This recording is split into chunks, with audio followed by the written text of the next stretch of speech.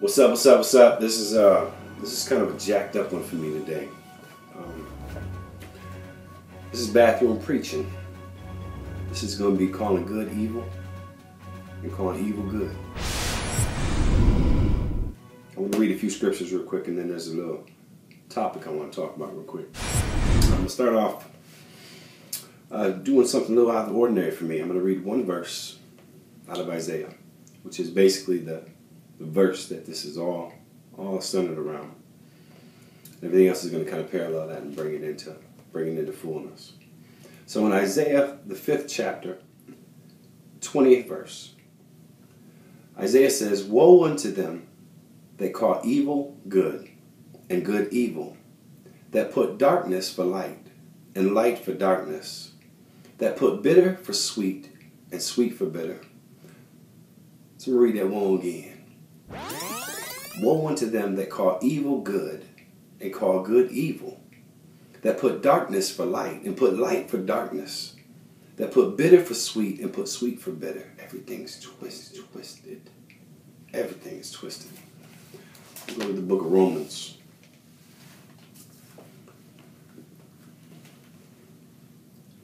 Book of Romans 1.16, it says, For I am not ashamed of the gospel of Jesus Christ, for it is the power of God unto salvation to everyone, to everyone that believeth, to the Jew first and also to the Greek. For therein is the righteousness of God revealed from faith to faith, as it is written, the just shall live by faith. So now we're going to get into this word here.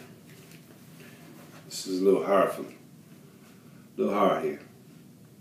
It says, professing themselves to be wise, they became fools, and changed the glory of the uncorruptible God into the image, into an image made like to corruptible man, and to birds and to four footed beasts and creeping things. Wherefore, God also gave them up to the uncleanliness. He gave them up to uncleanliness through the lust of their own hearts, to dishonor their own bodies between themselves, who changed the truth of God into a lie, and worshiped and served the creature more than the Creator who is blessed forever. Amen. For this cause God gave them up unto vile affections. For even their women did change their natural use into that which is against nature. And likewise also the men, leaving the natural use of the woman, burned in their lust one toward another, men with men, working that which is unseemly, and receiving in themselves the recompense of their error, which was meet the recompense of their error, the penalty of their error, which was due. It says, And even as they did not like to retain God in their knowledge, and even as they did not like to retain God in their knowledge, God gave them over to a reprobate mind to do things which are not convenient. And if you want to break down not convenient, it would be saying things that are not fitting.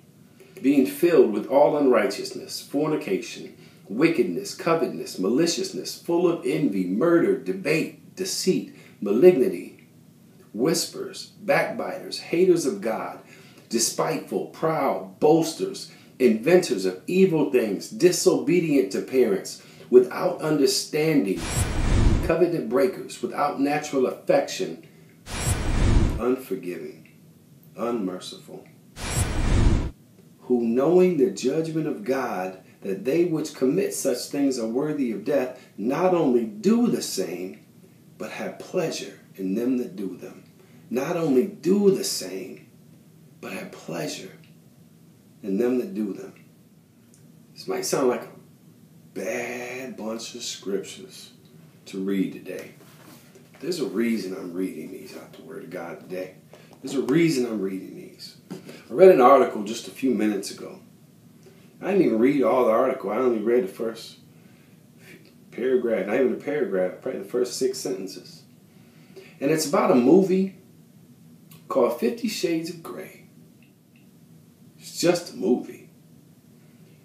It's just a movie. And it just so happens that the star's name in the movie happens to be Christian. Isn't that funny?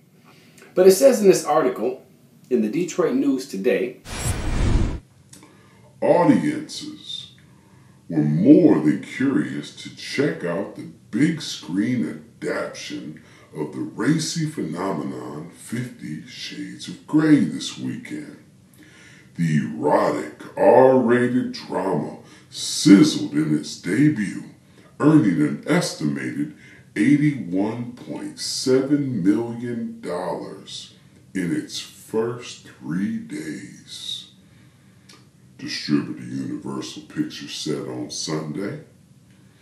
In addition to destroying Valentine's Day and President's Day weekend records, Fifty Shades of Grey has also become the second highest February debut ever.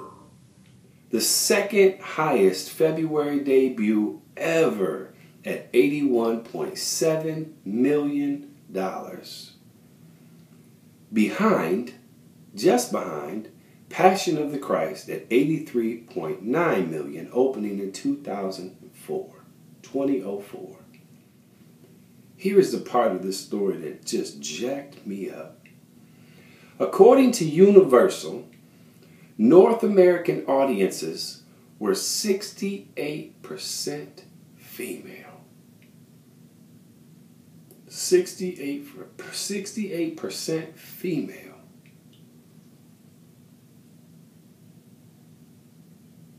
Is that really what women want? Is that really what they want? Is that really how we are? We, we call evil good and good evil.